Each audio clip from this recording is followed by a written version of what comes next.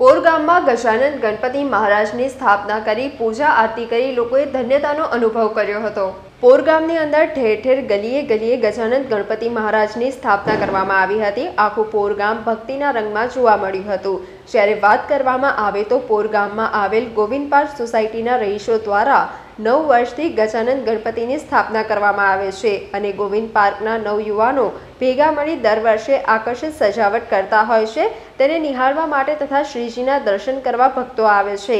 દસ દિવસ પોર ગામમાં ગજાનંદ ગણપતિની સ્થાપના કરવામાં આવે છે અને ત્યારબાદ પોર ઢાઢર નદીમાં વિસર્જન કરવામાં આવે છે.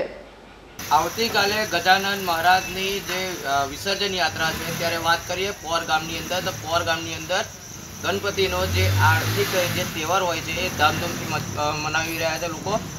જ્યારે વાત કરીએ કે ગોવિંદ પાર્કના જે નવ યુવાન યુવક મંડળ દ્વારા છેલ્લા આઠ વર્ષથી આ ગણપતિનું સ્થાપન કરીને, આ અલગ અલગ કૃતિઓ રજૂ કરીને લોકોને, પોર ગામના લોકોને ખુશ કરવાનો પ્રયત્ન કરવામાં આવે છે. મારી પાછળ જે દ્રશ્ય જોઈ શકો છો કે આ જે ગોવિંદ પાર્કના નવયુવાન મંડળ દ્વારા આ ગણપતિ સ્થાપિત કરવામાં આવેલા. અને આ જે લોકો છે, ગણપતિ મહારાજના ભક્તો જે છે, એ દસ દિવસ પોતાની યથાશક્તિ પ્રમાણે આ જે ગણપતિ મહારાજની મૂર્તિનું સ્થાપન કરીને પોતાનું આ જે ભક્તિ છે, એ ભક્તિ બતાવી રહ્યા છે. ત્યારે આપણે ગોવિંદ પાર્કના જે ગણપતિ છે, એ ગણપતિની વાત કરવામાં આવે તો છેલ્લા આઠ વર્ષથી આ સ્થાપન કરવામાં આવે છે.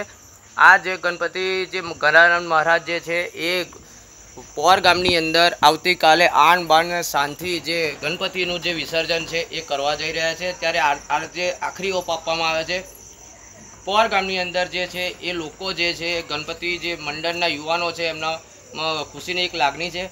નવ વર્ષથી તમે જે સ્થાપન કરો કરો છો, યુવાનો ભેગા થઈને, સમગ્ર ભેગા થઈને અને આવતીકાલે આન બાન શાંતિ ગણગજાનંદ મહારાજની મૂર્તિનું સ્થાપન વિસર્જન છે. શું કહેશો આ બાબતે?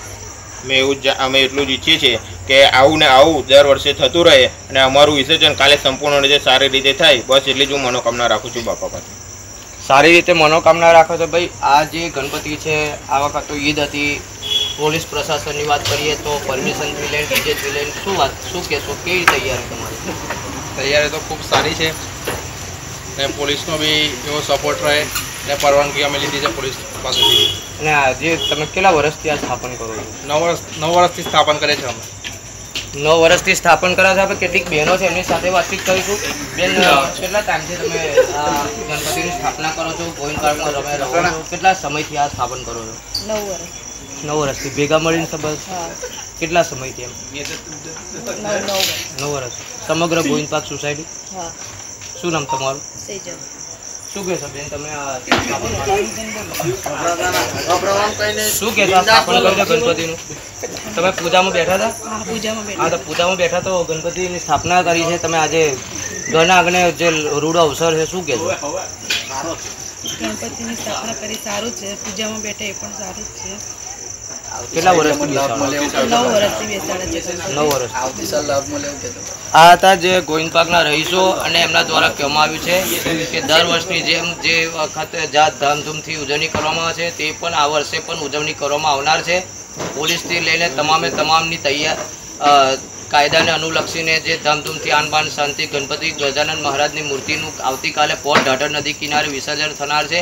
ત્યારે કોઈ પણ જાતનું અનિય બનાવ ના બને તે માટે વરનામાં પોલીસ પણ ખડે પગે રહીને એ યથાર્થ મહેનત કરી રહી છે. પોરથી હિતેશ પટેલ સાથે લોકમત ન્યૂઝ ચેનલ વડોદરા. સમાચારોના સતત અપડેટ મેળવવા માટે લોકમત ન્યૂઝને યુટ્યુબ ઉપર સબસ્ક્રાઇબ કરો. બેલ આઇકોન દબાવો અને અમારી સાથે જોડાયેલ રહો. ફેસબુક, ઇન્સ્ટાગ્રામ અને ટ્વિટર ઉપર.